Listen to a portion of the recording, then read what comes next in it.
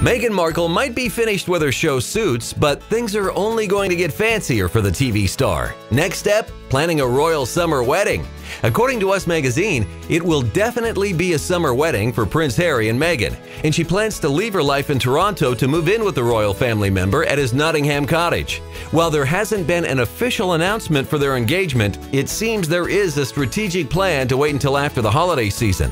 Us Magazine reports that the official proclamation will include a photo call at Kensington Palace and a syndicated TV interview. Us reports it will likely be sometime in January. It gives Meghan some time to get settled and will be a great start to 2018. Meghan will likely be done with television for a while, but it sounds like the lights, camera, and real action will start in 2018 for the future royal.